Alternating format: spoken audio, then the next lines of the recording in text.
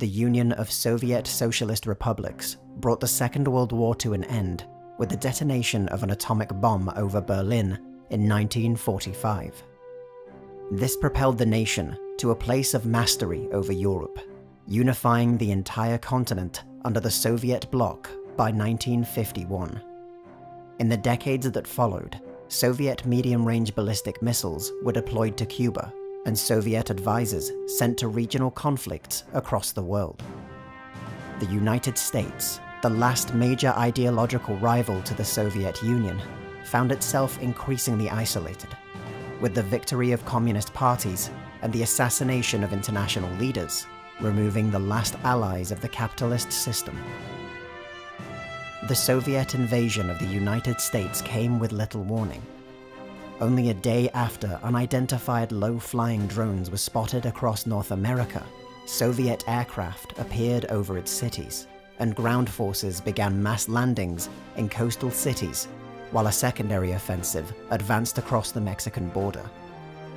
Such was the speed of the invasion that many citizens of the United States did not even realize their country had been attacked until Soviet soldiers appeared in their homes.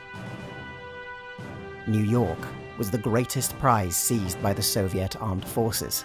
It had been taken with only meager resistance, and mainly from the New York Police Department, rather than any American military forces. With the greatest symbol of American capitalism secured, the city became the headquarters of the Soviet Armed Forces Network, and the Soviet Armed Forces themselves. But while parades of smiling Soviet soldiers marched to speeches promising the return of freedom and stability to the country, there were some who had refused to give up the fight. Another organization had declared itself within the city, and beneath the streets of New York, a hidden army of American revolutionaries was growing, becoming the Manhattan Resistance. An impromptu group formed by necessity the Manhattan Resistance was an eclectic mix of civilians, former members of the NYPD, and as the occupation continued, disillusioned Soviet soldiers. At its formation, a few of its members possessed military training and even experience fighting the Soviets in South and Central America. But for the most part, they were average citizens with no experience conducting a military campaign. This held true for the group's leader, a 32-year-old plumber named Christopher Stone.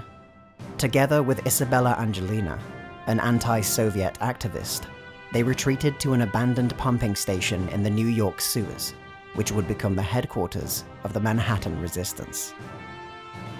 By moving through these sewers, Chris and the Resistance were able to bypass Soviet roadblocks and gain information from a network of friendly informants across the city. Chief among these was a man named Mr. Jones, who possessed an uncanny knowledge of Soviet movements and operations. Within months of Soviet occupation, the group was able to effectively mount a guerrilla resistance, striking at Soviet facilities and personnel, rescuing American prisoners of war, and raising their flag at key points across New York City before disappearing back underground. The Manhattan Resistance grew so successful that Chris was often featured in Soviet propaganda labeled the Freedom Phantom and a terrorist. These news reports had the opposite of their intended effect on the New York population, bringing to the Manhattan resistance further credibility and renown. The group's numbers swelled, and they became more daring in their attacks. Chris's brother, Troy Stone, would pay the price of their growing infamy, executed after refusing to denounce his brother on television while the resistance was able to kill General Tatarin, head of the Soviet occupation forces. The operation to do so was the last component of a long-running trap, meant to concentrate the Manhattan resistance and destroy them. The mysterious Mr. Jones, which the resistance had relied upon for intel, was in fact a KGB agent. The resistance headquarters in the sewers was destroyed, and its members scattered.